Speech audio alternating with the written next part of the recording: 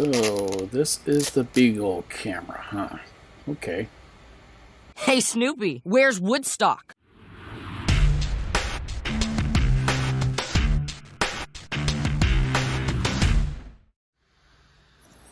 I was asked if I wanted to review a webcam that could control a 3D printer. And it's very affordable, but it has a real unique name. And it's kind of cute.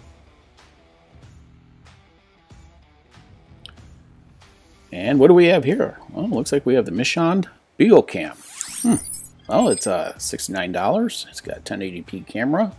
It can record up 32 gigs, but ah, man, this looks familiar. What does this look like?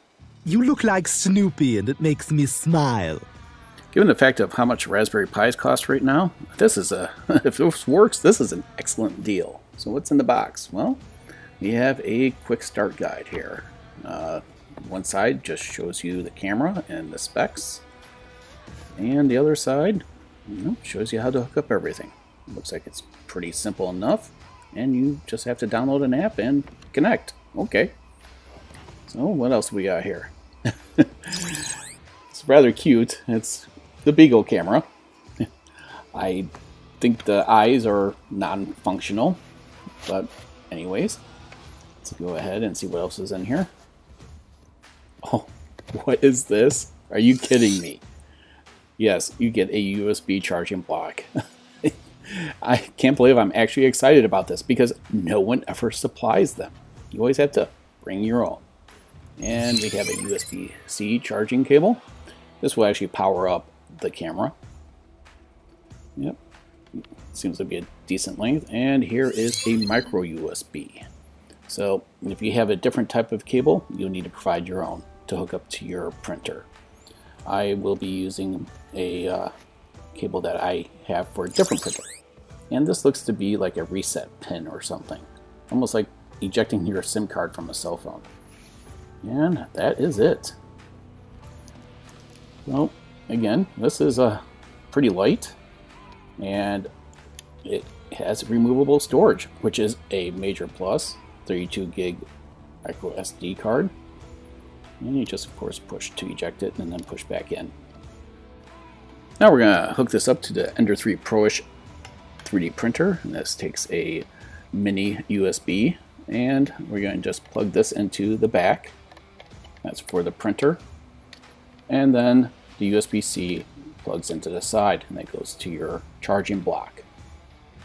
Very simple and straightforward. Next, we're going to download the app to my phone. I use iPhone. And basically all we have to do is do a sign up, create a new account. And of course, you're going to have to just put in all your information here. But once you do, you log in. And then we're going to kick off the AP configuration. We're going to click on that. It's going to tell you to hook up everything. And then once we do, we're going to click next. Then you're going to put your Wi-Fi account information in here. And then once you do, you're going to click next. And this is where we need to pay attention. You're to go into your settings for search for a Wi-Fi. You're to do that, look for that BG cam. And then you're to type in that password, which is 0 through 7. And that will connect basically your Beagle cam to your home network. Once you hit the password, you hit join. It will populate right there. And then you go back to the app. And then you click next. And of course, I fast forwarded, but it will say connected to Wi-Fi. And that's it. Are you kidding me? That is literally it. Now that this is on our Wi-Fi, I'm going to click on the gear in the lower right. I'm going to choose my printer. And this is a Creality Ender 3 Pro-ish. So let's make sure that we choose Ender 3 Pro-ish on there. And everything looks good. Our baud rate, printer size. Yep. And I'm going to click on Connect in the upper right. And that will connect our printer.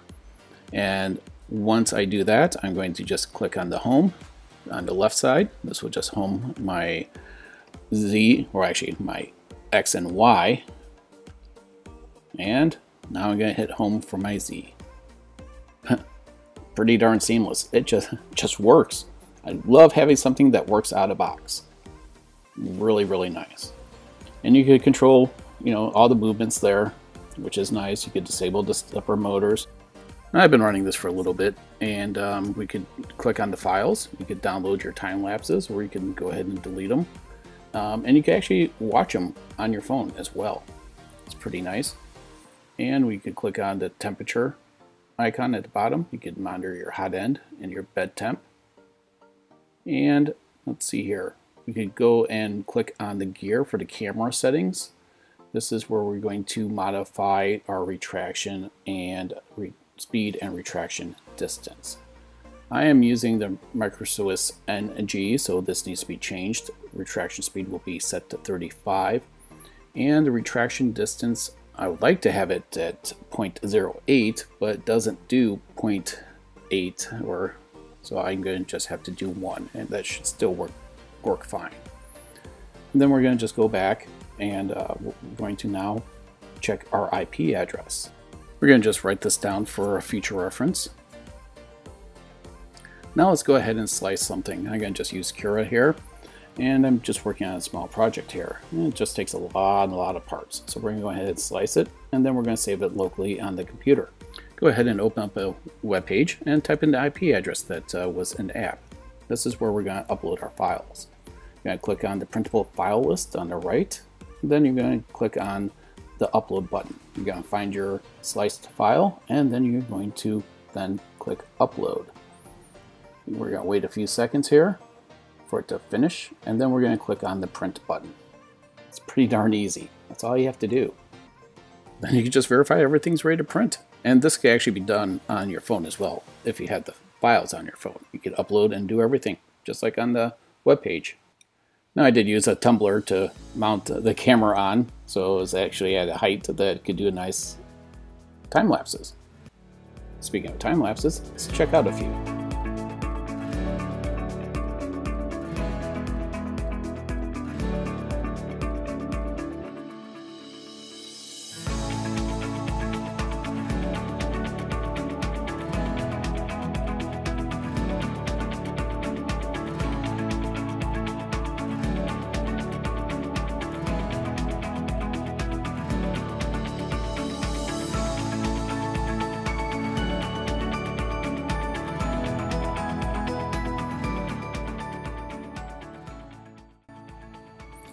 So what are my thoughts of this uh, big old camera?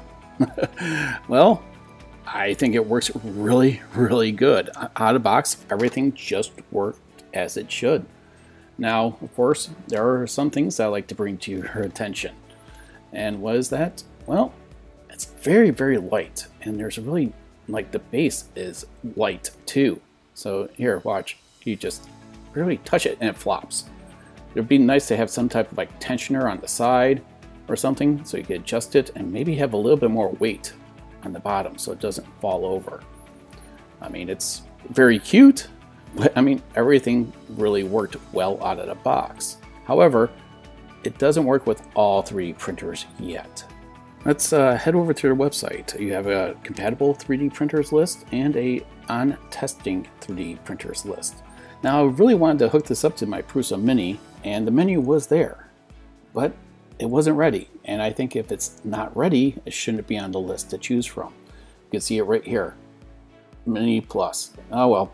So at least they're working on it, but I suggest they just remove it until it's ready.